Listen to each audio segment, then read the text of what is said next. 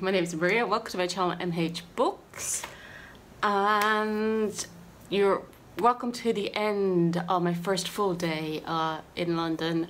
It's about nine, half nine at night. I've been here since about five o'clock yesterday evening and I was wondering what I should blog about because I might put some of the footage together or I might just watch Netflix. Probably Netflix, but I'll also have a carpet picnic with some wine. Um, and I was wondering what you'd like, and I went, oh, maybe they would like to see how I enjoyed the more modern architecture in London this time. This is the second visit I've been in two years. So I was here last year in June, so June 2018. This is now the 1st of August 2019. And I just, that was me going and going, that's a year ago, isn't it? yeah, it is. It's a year ago. Uh, I thought, well, maybe they would like to see how this time I was inspired by the modern architecture around London. Insert clip here, Future Maria. Isn't that just amazing? Hold on. Let's just have a look. La, la, la, hmm. And then I thought, oh no, maybe you see this hotel room behind me? This is actually quite cheap hotel. It's an Ibis. And in the one near Shoreditch, it's actually called the Ibis Shoreditch. It's not in Shoreditch, it's near it. Um, it's quite funky. Insert, uh, insert footage Future Maria. So I'm quite enjoying this hotel. I go to a few hotels for work and stuff, and some of the cheap, and one or two have been expensive and we've gotten the good deals because I work for a charity. But and, and, all the ones I go and travel with are always three stars. Um, but this one was quite fun. I really am enjoying it and I do like the breakfast. Oh, and that was the other thing. I thought, oh, maybe I could vlog. I push myself a little bit. Maybe I could vlog about how easy vegan food is to get in London compared to Dublin insert footage or a film of uh, mostly eating Bernie. I forgot to film eating the food, I just mostly ate it. Um, but then I realised this was booktube.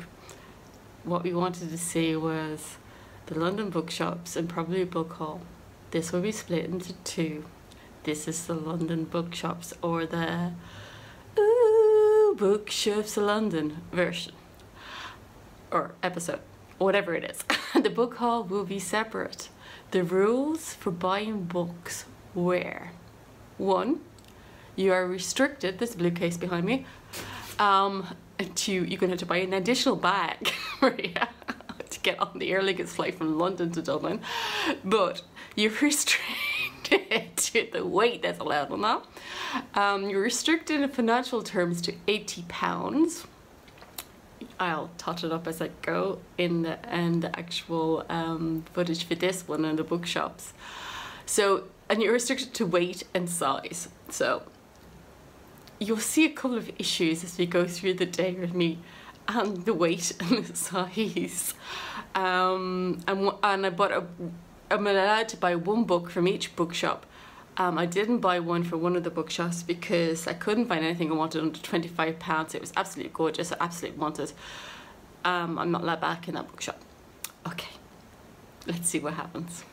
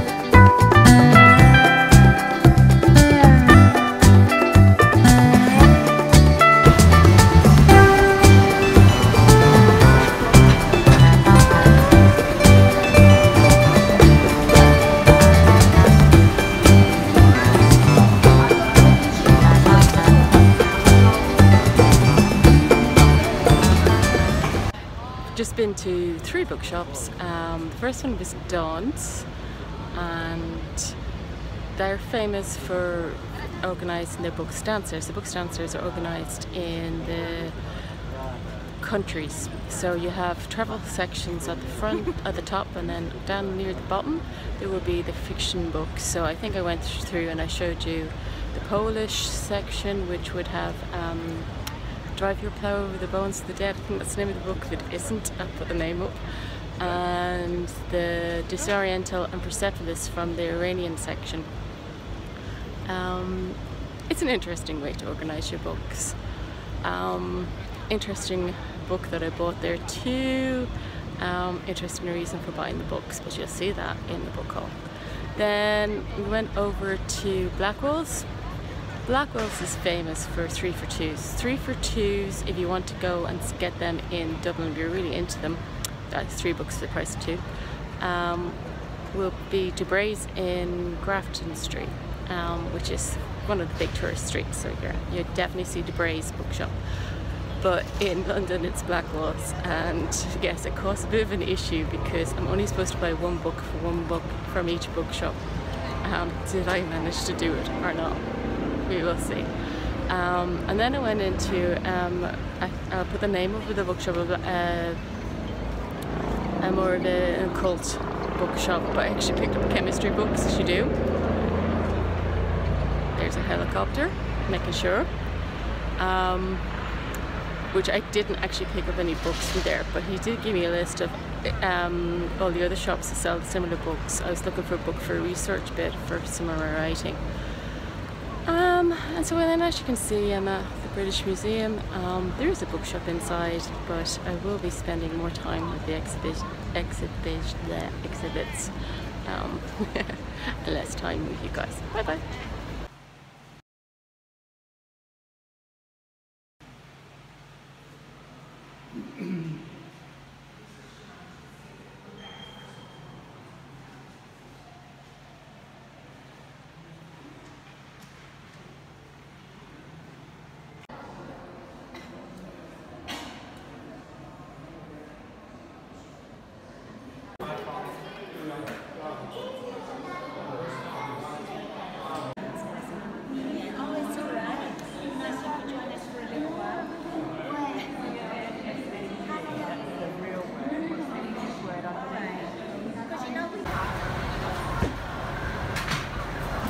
Too heavy to carry.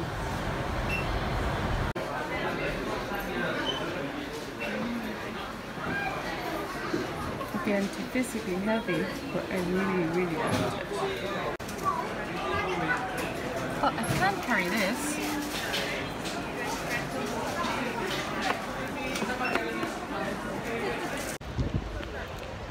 So basically we just come back and see some of the oldest writings in the world.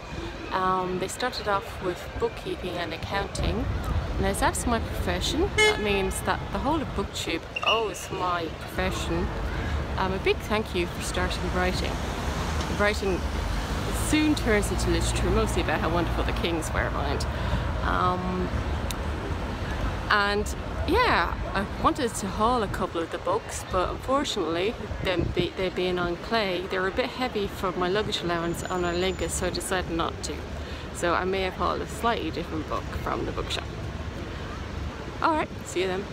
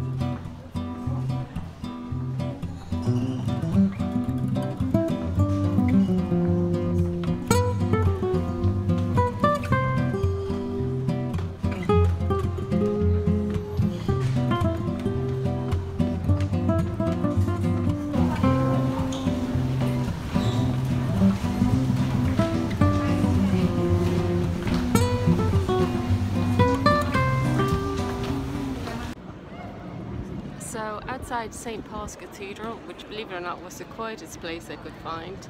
Um, so where did we go off to next? Mm. Uh, Gay is the word, and which interestingly sells LGBTQ books, which most people should know from BookTube. But if you don't, they sell LGBTQ books. It's given the name gives it away. Have they have um, the gay books on one side, the lesbian books on the other side, and in between they have all the trans and all the in-betweeners. Um, then went round to Skoobs, who was in the middle of calling security because people throwing books down the stairs. Skoobs is books spelt backwards, and they sell second-hand books. Um, and I was really tempted to break my rule and buy a hardback book there, but no, I didn't. So you're going to have to guess what book I got there. Um, then after that we went to Persephone Books Persephone books has the advantage of buying, you buy the books in the bookshop. So the Persephone books, obviously, oh not obviously, we don't know. For, um, most people who watch a lot of British booktube know. Um, they sell mostly um, female authors. They do sell some male. Um, and they're the kind of books that went out of publication so they're just Dorothy Whipple would be one of the most popular authors there. But the advantage of buying the books in their bookshop is you get the bookmark and they're all in these beautiful grey covers which you get their bookmark too. Then we went to Forbidden Planet where I concentrated on the books. My sister would have gone to the graphic novels if she'd graphic novels and comics if she'd been here so would my niece um, but you probably can guess if you watched this channel before which section of the books I went to. So they sell mostly um, sci-fi, fantasy and horror. And then we went to Foyles, which is one of those bookshops which were taken over by Waterstones, so it's secretly a Waterstones um, but they've maintained the original Foyles. Um, it's exactly the same as when I was in London last year, so they've maintained the original Foyles, layout and stuff. So for Foyles shops, I usually go to um, staff picks, and because it's a big, it's a huge bookshop. Um, the horror section, I don't look through all the things. The bookshop is just too big for me. So you can guess whether I got it from staff picks or the horror. I have to say that last year I got it from one and this year I got it from the other. But I'm not giving this away because it wasn't filming last year. And yeah, that's it. Um, here is some sights. Um, so see you back in the hotel. So that is the end of the Bookshops in London vlog. Um, I do hope whatever you buy, you enjoy it. Whatever you borrow from the library, you enjoy it. Whatever you borrow from your friends, that you enjoy it. And I hope you're not stealing any books because that'd be wrong. Until next time, bye.